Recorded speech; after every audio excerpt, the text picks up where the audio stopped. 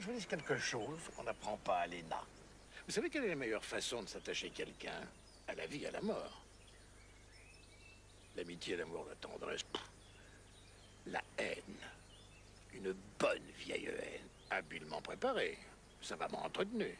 Et celui qui vous hait reviendra toujours vers vous. Pour se venger, pour vous tuer peut-être. Mais qu'importe, il reviendra. Alors que l'ami, allez savoir. Bon, ben